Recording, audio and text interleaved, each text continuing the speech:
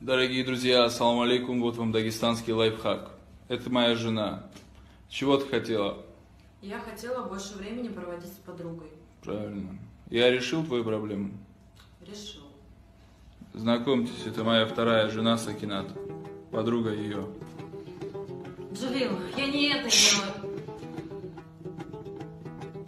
Сакина, добро пожаловать в семью. Ассаламу алейкум.